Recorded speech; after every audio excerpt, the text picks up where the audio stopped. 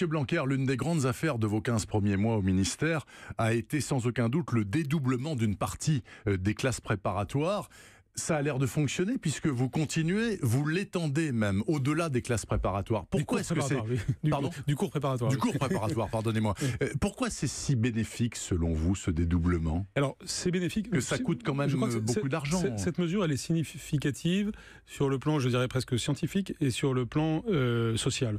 Sur le plan scientifique, parce que si euh, avec Emmanuel Macron Edouard Philippe, on a choisi de faire cela dès le début de, de notre arrivée, c'est parce qu'il y avait des études qui nous montraient que c'était la mesure volontariste efficace si on voulait prendre à bras le corps le sujet qui nous importe le plus, c'est-à-dire lutter contre les inégalités sociales, non pas en apparence, mais à la racine, pour lutter contre la première des inégalités, quelle inégalité devant le langage? Quand des enfants arrivent à l'école, ils sont déjà en situation d'inégalité du fait de leurs circonstances familiales parce que leur vocabulaire peut varier de 1 à 4, voire de 1 à 5.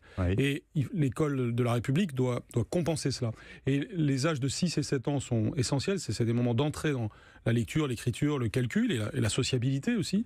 Et on doit euh, être particulièrement attentif à ce que tous les enfants réussissent cela. Or, quand on regarde les enquêtes on voit que les, échecs sont beaucoup plus importants dans ces zones REP et REP+. Et donc, c'est sur des bases Faut très... Pas trop utiliser les acronymes REP et REP+. Réseau d'éducation prioritaire.